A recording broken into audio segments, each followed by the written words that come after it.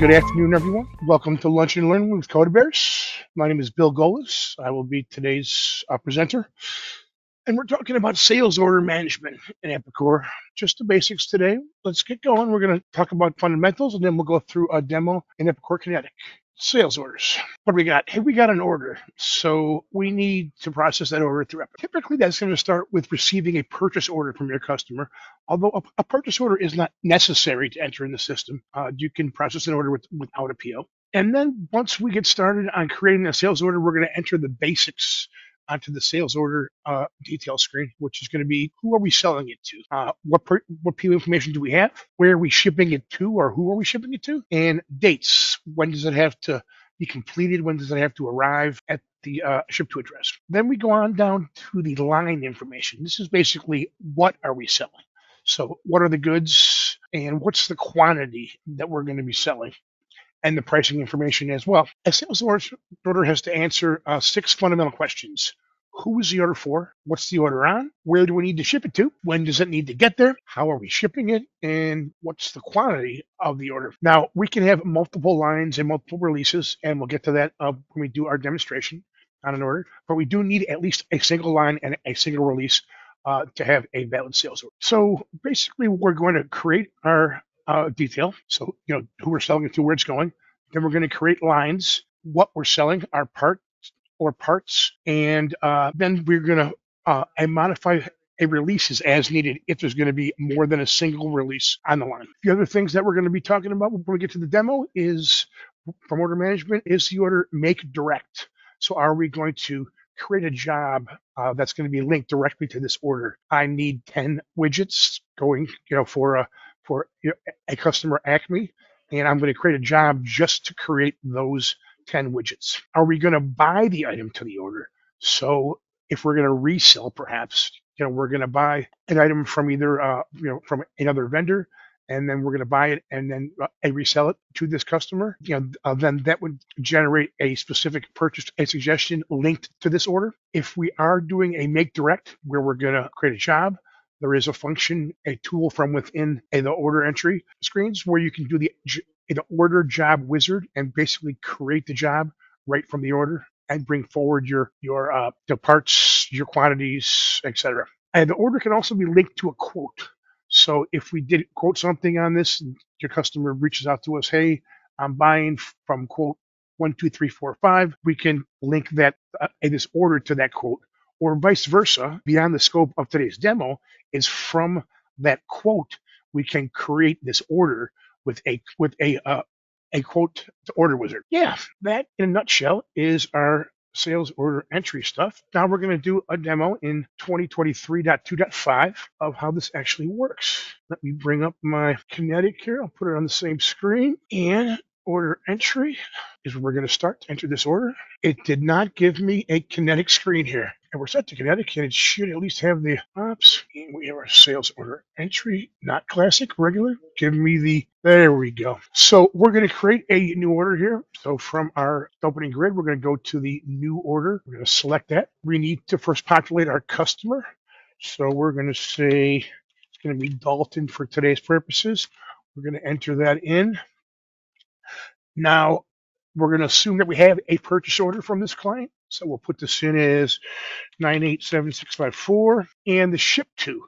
So uh, customer records can have multiple ship tos on them. This is a the default ship to is plant one, which is going to be uh, this address here. Let's go ahead and see if we don't have another ship to on here. And we do. Let's go with plant two here. I'm going to select. So this one was in Neenah, Wisconsin. Let's see where this looks like Dubuque, Iowa. And once we load it in, we have Dubuque, Iowa. Also, on our sold to, uh, we had an attention here that was defaulting in a primary.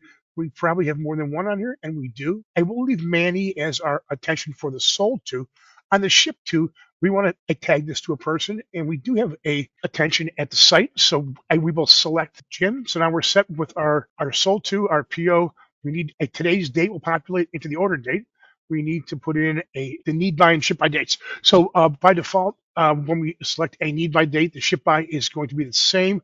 We may know, hey, This is going to Dubuque, Iowa. That's going to be a overnight point from, from where I'm at here in Chicago. So I'm going to select the previous day so that we know that we want to ship it uh, uh, on the 21st to arrive on the 22nd. What else do we want to talk about here? Counter sales. So a counter sale, um, and not a lot of manufacturers do this, but some do.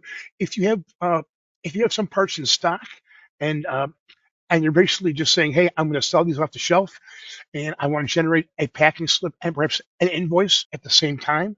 So the actual goal of this is, you know, someone comes into your shop and says, hey, I want to buy 10 of those. And you say, okay, you're going to do a transaction right there. He gives you his credit card, he or she. And when you select the counter sale, you can then select, hey, I want you to print the pack slip and the invoice right away with this transaction once I save it. And then you can complete the whole transaction in one fell swoop, uh, hence a counter sale. But for today's, we're not going to do a counter sale. So uh, once we're here, it's going to be ready to process is taxation linked to Avalara, so we probably won't be too concerned about that. The ready to fulfill is going to make this order available in the fulfillment workbench if you use a fulfillment, allocate your uh, parts, or is this on hold because I don't want it to be available to ship yet. And now we've created our detail, we should be able to save this now and get a sales order number. But we have no line yet. What are we selling? So we're going to go ahead here and we're going to go to our lines and then we're going to add a line here. Now we're in the grid here. I can do this on the detail, uh, but I happen to know my part, and we can search for it too. It's going to be 001P. Once I enter that, it should bring in our description. This part does not have a revision. How many do we want? We're going to say they're buying 100 of these babies. And what's our price here? We have a uh, $1 already populating from potentially a, a price list. We're going to say these are going to be 20 bucks. Then we can go ahead and save that and it's going to populate our ship by and need by. So, so we've created that line here. Let's go to our line detail now. Here we are with our line detail. We have our part number, we have our order quantity, we have our price of 20, and we can see that it didn't bring in our need by and ship by. So we're going to have to reset those. So we said it was going to be 22nd, and we were going to go with the day earlier to ship. This a discount is coming in because it's on the uh, on the customer record, so we'll just leave that as it is. And we could, although override that, and then select here zero, and then we shouldn't have any discount. If we're linking to a quote, we would put that information in here, but we aren't for today's purposes. For our what's available, you can see here, you know, what's on hand, what's available, and what's on this line, and what's shipped. We actually have none on hand, and we are negative on inventory. And we see our price is going to be at 2,000 bucks because we have 100 by 20. Once this is all saved, that should give us one release against this. And let's verify that. We'll check our release here and it says, yeah, it's a single release here. It's firm. Now, if we wanted to create additional releases by default, depending on how you're set on your company config, if you create additional releases, it's going to increase your line quantity. So if we were to go here and to add a release, what would happen is it would increase the quantity from 100 to 100 plus that release quantity. But if we were at the line level, line detail. If we select the lock line quantity, then, and we're going to demonstrate this here, we're going to go to our releases here. So we have a single release for 100. We're going to add a release here, and we're going to make this release for 25 pieces. We're going to select the date of hey, the following week, let's say, and we'll ship day early. And now we see it's 100 for release one and 25 for release two. Because I set the lock, we should get a decrement. And there we go, 75 and 25. So that lock line allows you to have if you're going to say have a large blanket order of uh, you know a thousand pieces and you want to create you know uh, uh, 90 piece per month as a release schedule, you can just create all those 90s and it will decrement down and keep the line number and the line quantity the same. So that's just depending on what you want to do. You either lock that line quantity or you don't. You need to increase those up, those the line quantities with the releases. So let's go ahead and create one more line here and we'll do this for a different part number. So we're going to search this here. Oh, I'm sorry. We're going to search this real quick to get another part and we'll select that one, that in. And here we're going to go with 50 pieces and we'll put this on the same date as the second release for the other one. So at the same time. Okay, so now we have a, a sales order with a multiple lines and line one has multiple releases. And once you've created your sales order, you're going to want to acknowledge back to your client, hey, this is what I have came out of order for you. Here's kind of the feedback loop, and that's going to be from printing your your sales order acknowledgement. Okay, when you print that, we can just go from yeah, it's for the single order. So we're going to go ahead and preview that to see how it renders. This is the base report. And while this runs, most often you're going to then uh, email this to your client, I assume. And you, and you see here, Fisher sold to. Here's our ship to with that. And we have Jim versus a Manny from our, different contexts. Each line is going to display the release schedule indented on that line. So on line one, we have, have two releases.